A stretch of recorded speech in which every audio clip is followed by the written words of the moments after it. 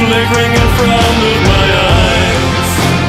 I feel the shame, but that is no surprise.